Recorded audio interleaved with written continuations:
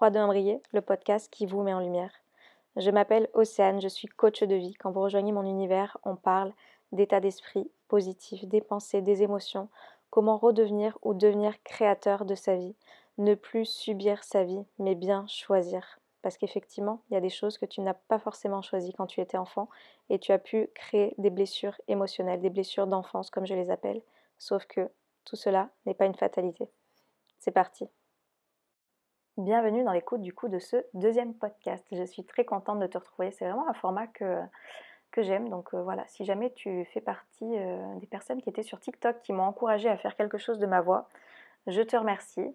Je remercie aussi euh, voilà, des, amis qui m'ont fait part de cette voix. Et du coup, je porte ma voix et aujourd'hui, on va parler des habitudes. On va parler des habitudes qui ont une valeur ajoutée dans ta vie ou non. Si tu n'es pas encore inscrit à ma newsletter, je te mettrai le lien juste en bas parce qu'en fait, il y a quelques jours, j'ai fait partir une newsletter sur une expérience qui m'est arrivée et une habitude que j'avais mis en place dans mon quotidien et qui n'avait pas réellement de valeur ajoutée sur l'objectif, l'intention en fait que je misais. Je te fais un petit topo rapidement si jamais tu n'es pas abonné à cette newsletter. Il y a quelques années en arrière, j'avais pris 10 kilos. Voilà, c'est un fait, c'est une circonstance. Tu sais qu'après, c'est uniquement tes pensées qui vont te faire ressentir quelque chose. Et moi, mes pensées me faisaient ressentir quelque chose qui ne me convenait pas par rapport à l'image que j'avais de moi, par rapport euh, à comment je souhaitais être, etc. Donc j'ai mis en place euh, des stratégies pour perdre ce poids, donc de régime drastique à des choses euh, un peu plus saines, on va dire. Et tout ça pour te dire que comme je ne me suis pas vue prendre ce poids, à partir du moment où j'en ai eu conscience, j'ai pris cette fâcheuse habitude de me peser de me peser tous les jours et j'en étais venue à me peser même plusieurs fois par jour pour contrôler. Pour contrôler en fait où j'en étais dans cette perte de poids ou où j'en étais pour ne pas reprendre justement ce poids. Ça, c'est une petite parenthèse pour te dire un petit peu, voilà, les habitudes qui ont de la valeur ajoutée dans ta vie et les habitudes qui, au contraire, euh, vont t'apporter frustration, euh, colère, déception, etc. Par rapport à cette notion de poids, mais tu vas voir qu'on va faire le, le, rapport par rapport à l'état d'esprit positif. Hein. Tu te souviens que je suis coach de vie, donc je vais forcément te faire un, un parallèle avec ça. Par rapport à cet objectif, par exemple, de perte de poids, tu vois, j'avais pris cette habitude de me peser tous les jours, voire plusieurs fois par jour. Donc c'était devenu en fait une habitude pas très très euh, saine parce que du coup je reposais euh, mes humeurs essentiellement sur le poids que j'allais voir sur cette balance. Alors qu'à côté de ça, j'avais mis en place aussi d'autres habitudes.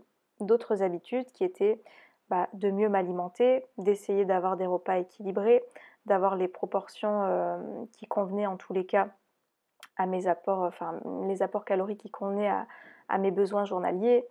Euh, j'avais mis en place aussi le fait de me bouger, de marcher, de faire du sport, d'essayer de m'occuper de mon mental aussi parce qu'on sait que voilà, ça va aussi avec, d'essayer de bien se reposer, etc. Donc tu vois, sur la balance, là, si tu voyais mes deux mains, si, tu as l'habitude de voir mes lives, imagine-moi, avec du coup ces deux mains, avec une habitude de chaque côté. La première habitude que j'avais prise était celle du coup de focaliser toute mon attention sur le fait de me peser et du poids que j'allais voir sur la balance. Alors que les autres habitudes sur l'autre balance, qui étaient celles de bien s'alimenter, de faire du sport, etc., je, je n'avais pas en fait mes pensées qui étaient axées sur celles-ci. Pourtant, quelle est laquelle de ces habitudes, selon toi, qui a une, valeur ajoutée sur ma vie et sur l'intention que j'avais posée de maintenir un poids de forme qui me convenait? Clairement, j'ai pris conscience que ce n'était pas de me peser tous les jours, plusieurs fois par jour, à plusieurs moments de la journée, après avoir mangé, etc. C'est pas cette habitude-là qui allait véritablement en fait euh, apporter une valeur ajoutée dans ma vie. Par contre, de maintenir une bonne alimentation, euh, le fait de faire une activité physique, de se bouger, de prendre soin de, mon corps et de mon esprit, ça, ce sont des habitudes, comme tu l'imagines, qui vont avoir une valeur ajoutée dans l'intention que je me suis fixée. Maintenant, nous allons faire le parallèle avec l'état d'esprit, ok?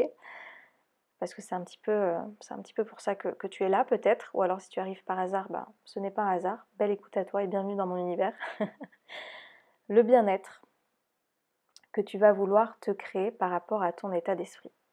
Tu vois, peut-être que tu es une personne qui a une programmation négative. Donc ça veut dire que tu vas avoir des habitudes de te plaindre, des habitudes d'être négatif, des habitudes d'avoir des, discours limitants, des croyances limitantes vis-à-vis de toi-même. Donc ça, c'est des habitudes que tu as ancrées, tu vois. Par contre, tu pourrais même installer d'autres habitudes pour arriver au même objectif du bien-être, c'est-à-dire de prendre soin de ton état d'esprit, de voir où c'est que tu peux voir le positif, d'être dans la gratitude chaque jour de, choses qui t'apportent de la reconnaissance pour lesquelles tu es heureux et heureuse, etc. Tu vois, là c'est pareil. Reprends cette balance, imagine-moi encore avec mes deux mains là face à toi. D'un côté, j'ai l'habitude de me plaindre, d'être négatif, euh, de toujours voir euh, ce qui ne va pas, etc. Donc c'est une habitude qu'il y a des personnes qui peuvent cultiver hein, et que ça va faire partie réellement d'eux. Et l'autre habitude qui est celle de transformer son état d'esprit, de travailler sur la positivité, de voir euh, cette gratitude, etc. Tu vois, il y a deux habitudes. Pourtant, il y en a une plus qu'une autre qui va t'apporter une valeur ajoutée dans ta vie. Il y en a une plus qu'une autre qui va t'apporter du bien-être, qui va t'apporter des émotions agréables. Et pourtant, c'est une habitude, c'est-à-dire que tu as le choix. Tu vois, revenons à la balance. J'avais le choix de focaliser ma pensée sur cette pesée euh, tous les jours ou plusieurs fois par jour, ou d'axer mes pensées sur toutes les choses bien que je faisais pour arriver à mon objectif. Là, c'est la même chose. Tu as le choix de focaliser ton attention sur Ah ouais, mais regarde, là j'ai encore une merde qui m'arrive, Océane. Oui, mais regarde, moi je suis malheureux à cause de ça, etc. Ou alors tu as le choix de te dire Ok, il m'arrive effectivement ça dans ma vie, comment je peux le voir? Quel état d'esprit je peux avoir qui soit radicalement différent de celui que je suis en train d'entretenir? Parce que celui que j'ai depuis des années, je me rends compte qu'en fait, bah, ça me rend pas très heureux, ça me, ça m'apporte pas forcément des émotions agréables. Et la seule personne qui contrôle mes émotions, j'ai conscience que c'est moi-même. Donc, qu'est-ce que je peux mettre en place en fait? Comment je peux instaurer cette nouvelle programmation à l'intérieur de ma tête pour euh, installer quelque chose qui va demander de l'effort Souviens-toi, hein, c'est toujours un effort au départ, mais qui va être ensuite une habitude, quelque chose que tu vas faire naturellement. C'est-à-dire que ton esprit, il ne sera plus focalisé par la suite sur les choses négatives, mais quand les choses négatives, en tous les cas que tu que tu jugeras négatives, vont arriver, tu vas avoir la présence d'esprit de te dire OK, comment je peux voir ça positivement? Et ça va devenir machinal, je ne sais pas comment dire, ça va être automatique. Tu vas réussir à le faire de plus en plus simplement. Par exemple, il y a des personnes, quand elles se retrouvent dans les embouteillages ou qu'il y a un accident de voiture et que du coup ça les retarde, qui vont avoir tendance à s'énerver dans la voiture, tu vois, peut-être que tu fais partie de ces personnes, à s'énerver, à râler. Sauf que, est-ce que tu peux changer quelque chose à cette circonstance? Si tu me connais, tu le sais, non, on ne peut pas. Par contre, tu peux changer l'état d'esprit dans lequel tu vas réagir. Est-ce que justement, c'est pas le moment, quand tu te retrouves bloqué dans ces bouchons ou derrière cet accident, de te dire, ok, Gratitude parce que si j'étais partie cinq minutes plus tôt, je ne sais pas ce qui aurait pu se passer. Gratitude parce que du coup, je peux prendre ce moment-là pour, euh, je ne sais pas, euh, apprécier cette musique qui est en train de passer. Gratitude parce que si euh, j'avais poursuivi mon chemin, peut-être que c'était moi qui aurais été dans l'accident. Enfin, voilà, juste en fait de se refocaliser sur les choses positives qui sont en train d'arriver et de vous dire que la vie, elle est parfaite pour vous en fait. Tout ce qui arrive est parfait pour vous. Ça, c'est quelque chose qu'on a du mal à faire quand on débute, quand on a l'habitude d'être dans la négativité et qu'on a eu cette programmation tellement forte dans son cerveau, tu vois, et dans, ses habitudes, de voir le verre à moitié vide. Moi, j'adore voir le, le, verre à moitié plein. Si tu ne me connais pas, bienvenue. et du coup, c'est vraiment d'entraîner ton état d'esprit à voir à chaque fois où c'est que tu peux mettre du positif dans... On va faire un exercice, tiens. C'est quelque chose que j'ai déjà proposé sur TikTok, donc peut-être que tu l'as vu. Ça me vient comme ça, tu sais que les podcasts, je ne les écris pas, je les fais au feeling. Mais c'est un exercice qui, qui, va te permettre de comprendre les choses. Alors là, je vais te demander, s'il te plaît, de prendre juste quelques secondes pour regarder autour de toi tous les objets qui sont rouges. Je te demande, s'il te plaît, de te concentrer sur tous ces objets rouges qui sont autour de toi. Je te laisse quelques secondes. Tous les objets, objets pardon, rouges Ok. Maintenant, s'il te plaît, prête-toi à ce jeu. Ferme les yeux si tu n'es pas en voiture. Si tu es en voiture, euh, regarde tout droit. Maintenant, ferme les yeux ou ne les ferme pas si tu conduis. Enfin bref, sois vigilant. Et est-ce que tu peux me dire les objets qui sont bleus, qui étaient bleus, enfin qui sont toujours bleus autour de toi Il y a de fortes chances qu'à cette question, tu ne saches pas me répondre parce que j'ai orienté en fait ton regard sur les choses rouges. Tu vois Ce que tu peux savoir, enfin ce que tu peux prendre en conscience, c'est que ces choses rouges, elles représentent les, choses négatives, alors que les choses bleues, c'est les choses positives. Peut-être qu'en ce moment, tu es une personne qui va avoir tendance à focaliser son attention sur toutes ces choses rouges dans sa vie, tu vois. Quand il va y arriver euh, quelque chose de particulier, que ce soit euh, un patron qui te râle dessus, que ce soit ces euh, bouchons, que ce soit cette pile de travail qui arrive. Rappelle-toi que ce sont des circonstances, d'accord? Je te ferai une vidéo détaillée à ce sujet, enfin une vidéo, du coup un podcast. Si ça te tente, tu me diras ça dans les commentaires tu peux toujours trouver en fait le bleu, le bleu qui sera le positif dans ta journée, dans un moment, dans, quelque chose euh, aussi, aussi sombre soit-il, tu peux trouver toujours du bleu. La preuve, c'est que quand il arrive un événement, tu vas focaliser sur ce rouge, ce négatif, tu vois. Ton cerveau, il se met en alarme pour voir que ça, que ça, que ça, que ça.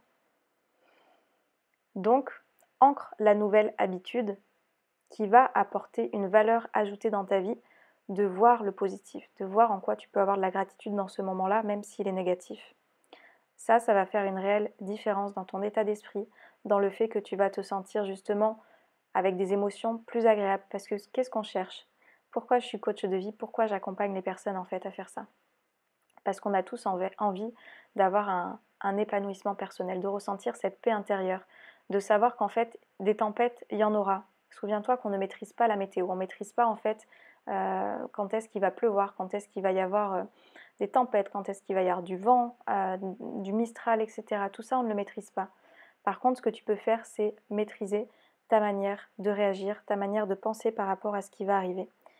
Du coup, au plus tu vas ancrer des habitudes qui vont avoir une valeur ajoutée dans ta vie, comme de te concentrer sur ce bleu, justement, sur ces habitudes qui vont t'amener avoir au-delà de cette circonstance qui pourrait te contrarier sur le moment ou te rendre triste, en colère, etc. Après, souviens-toi, hein, selon ce que tu vis, tu accueilles. Tu accueilles et ensuite tu choisis des meilleures pensées. Tout ça pour te dire qu'au plus tu vas cultiver euh, cet état d'esprit positif de toute façon dans ton quotidien, au mieux tu vas te sentir et de toute façon ça va devenir quelque chose que tu vas faire de toi-même parce que tu vas voir véritablement un avant-après. Vois, je dis généralement que dans un état d'esprit, tu ne vois pas le avant-après physiquement, quoique, il y a des personnes quand même qui ressortent des coachings en étant plus souriants, plus ouverts avec les épaules, voilà, qui, se redressent, etc. Mais c'est pas un avant-après euh, sportif, tu sais, comme on peut voir quand on suit justement des, des programmes pour, euh, pour mincir ou se sculpter, etc. Mais par contre, tu vas connaître ton avant-après quand tu vas te rendre compte que tu réagis d'une manière totalement différente par rapport à avant. Et ça, c'est magique parce que du coup, tu reprends le pouvoir. Souviens-toi que tu es créateur de ta vie, tu es créateur et observateur de ce qui se passe pour toi, de ce que tu es en train de, de laisser vivre à l'intérieur de toi. Et du coup, c'est là où, voilà, c'est magnifique parce que quand on en arrive à cet état de conscience-là, waouh, c'est juste, euh, c'est juste incroyable. Voilà, donc aujourd'hui avec ce podcast, je voulais juste t'inviter à regarder un petit peu quelles sont les habitudes que tu as en place et ces habitudes, quelle valeur ajoutée elles ont dans ta vie. C'est pas parce qu'elles existent depuis de nombreuses années peut-être qu'elles ont forcément de la valeur ajoutée dans ton quotidien. Donc essaye de voir, tu vois, je, t'ai fait cet exemple pour moi de ce poids avec cette balance. Essaye de voir toi, peut-être qu'une habitude, tu as voulu la créer en ayant des, intentions positives à la base et qu'au final c'est devenu une habitude bah voilà, qui t'apportait pas forcément les émotions agréables que tu avais envie de ressentir. Donc sur quoi tu peux axer ton regard, sur quel endroit tu peux trouver ce, bleu positif? Ça, c'est le travail que je te propose du coup pour cette semaine. Voilà, j'arrive au bout de ce podcast. Tu sais que je ne veux pas les faire trop trop longs. Euh, n'hésite pas à me dire en commentaire si, euh, ce format te convient, si euh, le nombre de temps que ça dure te convient aussi. J'essaie que ce soit voilà, droit au but. Ça, c'est les restes de quand j'habitais à Marseille. En tous les cas, voilà, merci encore d'être arrivé jusqu'au bout de cette écoute. Merci, voilà, merci de ta présence par ici. Comme toujours, si tu veux aller plus loin, si tu veux être accompagné dans cette transformation de vie, si tu veux être accompagné dans cet état d'esprit en fait pour justement t'aider à instaurer ces nouvelles habitudes de voir ce positif, ce bleu dans ta vie, réserve un appel découverte avec moi. Tu peux retrouver toutes les informations sur www.com et l'appel découverte, tu peux le prendre en m'écrivant un mail à océane.com. Et juste la petite nouveauté aussi, c'est que j'ai lancé un coaching express plus un audio personnalisé. Donc c'est un coaching qui dure une heure à une heure et demie sur lequel on parle de ta problématique et suite à ça je t'envoie un audio de relaxation, de méditation bien ciblé en fait euh, et personnalisé à toi. Donc voilà, je te laisserai toutes les informations en bas si tu veux aller plus loin et, euh, voilà, être accompagné dans ce mieux-être que tu as envie de vivre, et eh ben je me ferai un plaisir de t'accompagner. Je te souhaite une très belle journée, une très belle soirée. Je ne sais pas quand tu m'écouteras et je te dis à bientôt.